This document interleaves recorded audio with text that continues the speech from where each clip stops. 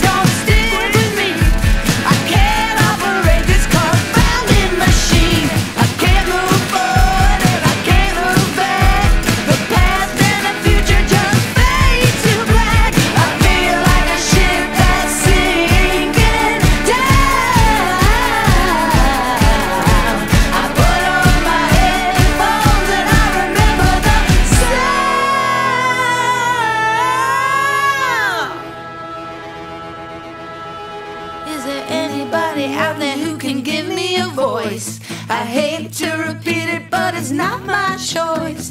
It's not my choice. It's not my choice. I hate to